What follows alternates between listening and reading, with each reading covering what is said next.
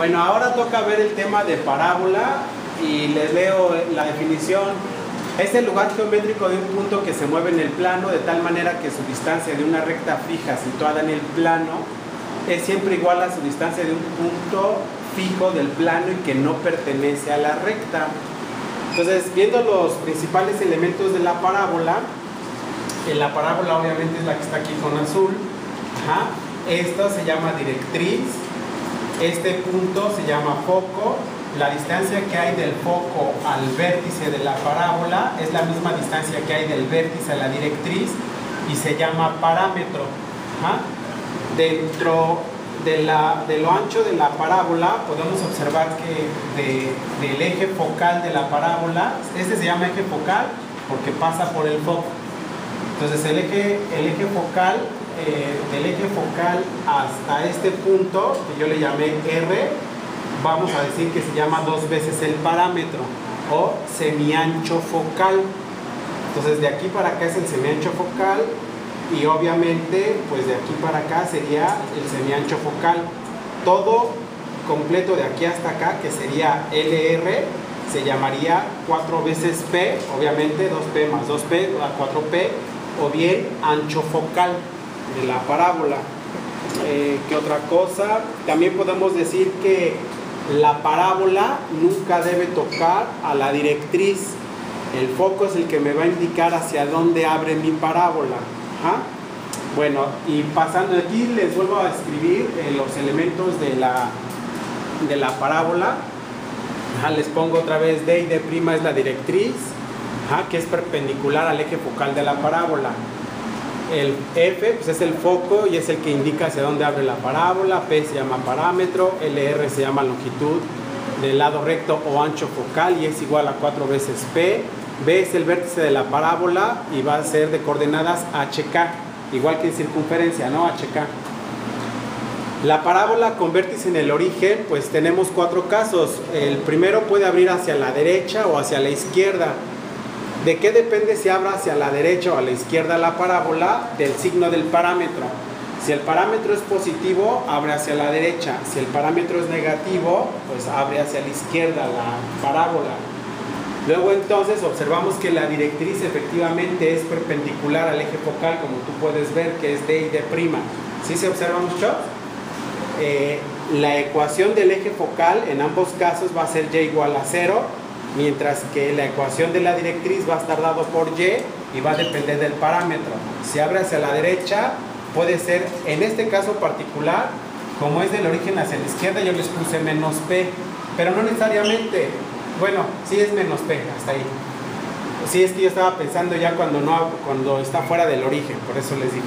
Bueno, Luego aquí cuando se abre hacia la izquierda, eh, dependemos del parámetro y la directriz eh, va a estar dada por y igual a más p. ¿Alguna duda hasta aquí que tengan muchos? ¿Dudas? Bueno. Luego también tenemos el caso cuando la parábola abre hacia arriba o hacia abajo. Y lo mismo, dependemos del, del parámetro. Si es positivo abre hacia arriba, si es negativo hacia abajo la ecuación se observa aquí es x cuadrada es igual a 4py y del otro es x cuadrada es igual a menos 4py.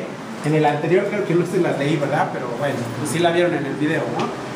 y igual a 4 más px, cuando abres hacia la derecha, hacia la izquierda, y igual a menos 4px. Luego, obviamente, eh, pues la ecuación del eje focal es por donde pasa el foco y en este caso, en ambas va a ser x igual a 0 la ecuación de la directriz se abre hacia arriba, pues como abre hacia arriba, la directriz va a estar hacia abajo, va a ser y igual a menos p, o sea, lo que valga el parámetro. Si abre hacia abajo, va a estar hacia arriba la directriz, que es perpendicular al eje focal, como se observa, y eh, va a ser y igual a más p, la directriz. Cuando la parábola abre, eh, cuando la parábola está fuera del origen, o sea, ya no tiene de coordenadas 0,0 eh, su hk, por eso aquí le pongo h, k. Bueno, pues ya tenemos estas ecuaciones. La primera es sus ecuaciones cartesianas, cuando abre hacia arriba o hacia abajo, va a ser x menos h al cuadrado más menos 4p por y menos k. Si el parámetro es positivo, abre hacia arriba, si el parámetro es negativo, abre hacia abajo. Las coordenadas del foco se calcularían así como h, k más p. La ecuación de la directriz quedaría como y igual a k menos p, que sería eh, la ecuación de la directriz paralela al eje de las, de las x, de las abscisas. Si el parámetro es negativo, obvio abre hacia abajo y las coordenadas del foco se pueden calcular como h, k menos p. La ecuación de la directriz quedaría como y igual a k más p. Si abre hacia la derecha o hacia la izquierda, esta va a ser la ecuación. Si es positivo el parámetro va a abrir hacia la derecha, si es negativo el parámetro va a abrir hacia la izquierda.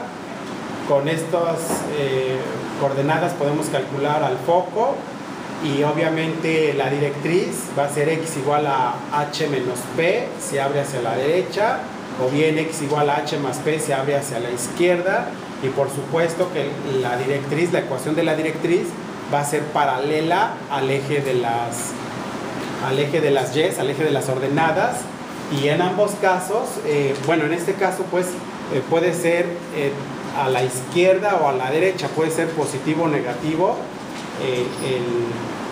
la ecuación de la directriz. Lo mismo acá, como aquí es paralelo al eje de las abscisas, al eje de las x, la ecuación de la directriz puede ser positivo o negativo.